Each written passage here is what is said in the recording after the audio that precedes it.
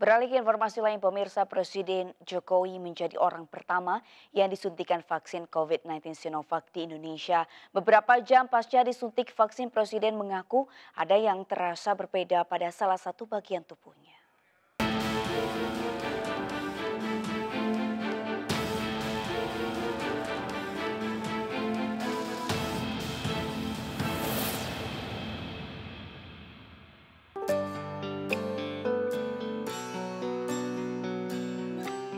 Berlangsung di halaman Istana Negara, seremonial vaksinasi COVID-19 dengan tema vaksin aman dan halal pada Rabu pagi berjalan lancar.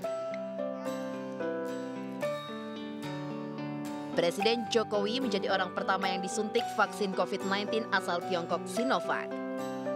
Adapun dokter kepresidenan yang bertindak menyuntik vaksin Jokowi adalah Abdul Mutalib. Sebelumnya, Presiden Jokowi melewati pengecekan tekanan darah terlebih dahulu. Dengan tekanan darah 130-67 dan tidak memiliki riwayat penyakit gejala COVID-19, Presiden Jokowi boleh disuntik vaksin. Tidak hanya Jokowi, menteri dan sejumlah pimpinan lembaga negara juga ikut disuntik vaksin COVID-19. Beberapa di antaranya seperti Menteri Kesehatan Budi Gunadi Sadikin, Ketua Umum IDI Daeng M. Fakih Panglima TNI Marsikal Hadi Cahyanto, hingga Kapolri Jenderal Idam Aziz. Usai disuntik vaksin, diperlukan waktu 30 menit untuk vaksin berproses dalam tubuh dan dipastikan tidak terjadi alergi. Tidak ada, tidak terasa apa-apa waktu suntik ya, waktu suntik. Tapi setelah uh, dua jam tadi agak apa, agak pegal dikit itu, agak pegal dikit.